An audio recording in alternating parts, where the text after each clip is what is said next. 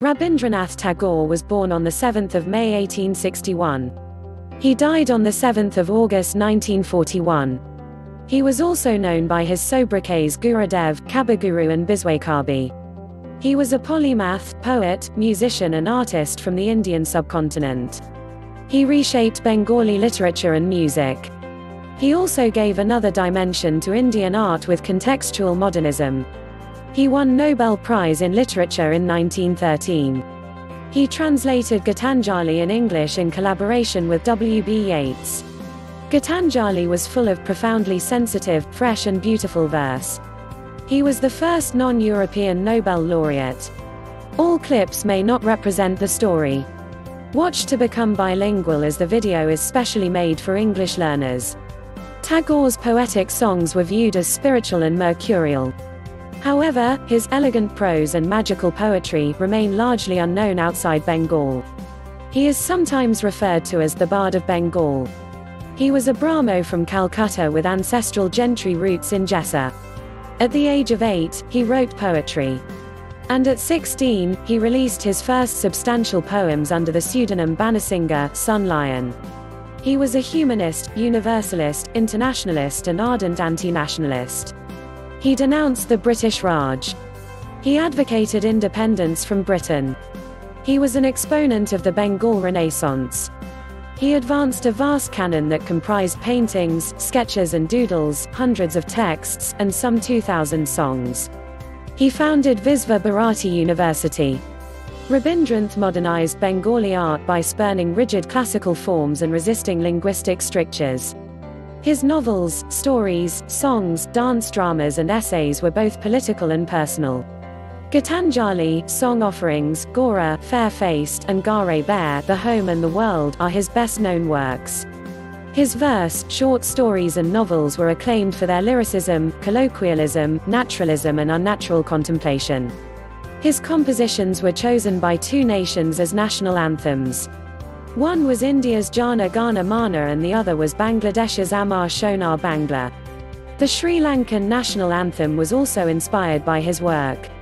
The original surname of the Tagores were Kushari. They were Rari Brahmins and originally belonged to a village named Kush in the district named Burdwan in West Bengal. He was the youngest of 13 surviving children of his parents. Rabindranath was shortened as nickname Rabi, the son. He was born in the Jorasanko mansion in Calcutta to Debendranath Tagore and Sarada Devi. He was raised mostly by servants. His mother had died in his early childhood. Besides, his father used to travel widely. His father invited several professional Drupad musicians to stay in the house and to teach Indian classical music to the children. Rabindranath's eldest brother was Dwijendranath. He was also a philosopher and poet. Another brother Satyendranath was the first Indian appointed to the elite and formerly all-European Indian civil service. Yet another brother Jyotirindranath was a musician, composer, and playwright. His sister Swarnakumari became a novelist. Jyotirindranath's wife Kadambari Devi, slightly older than Tagore, was a dear friend and powerful influence. Soon after Rabi's marriage, she committed suicide in 1884. Her abrupt death was unbearable. It left him profoundly distraught for years. He avoided classroom schooling. He preferred roaming the manor or nearby Bolpur and Panihati.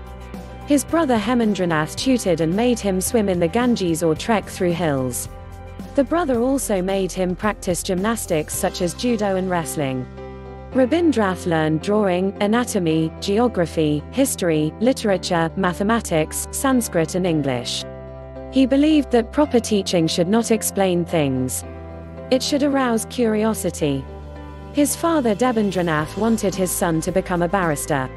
He enrolled at a public school in Brighton, East Sussex, England in 1878. He stayed for several months at a house near Brighton and Hove. The house was their own.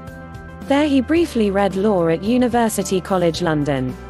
Again he left school. He studied Shakespeare's plays and others. He returned to Bengal in 1880. Then he regularly published poems, stories and novels. These had a profound impact within Bengal but received little national attention. In 1883 he married 10-year-old Mrinalini Devi. Early marriage was a common practice at that time. They had five children. Two of them died in childhood. In 1890 Rabindranath started managing his vast ancestral estates in Shelaidaha in Kusha. There his wife and children also joined him in 1898. He released his Manasi poems in 1890. As Zamindar Babu, he crisscrossed the Padma River in command of the Padma, the luxurious family barge. He collected mostly token rents and blessed villagers. So, they honored him with banquets, occasionally with dried rice and sour milk.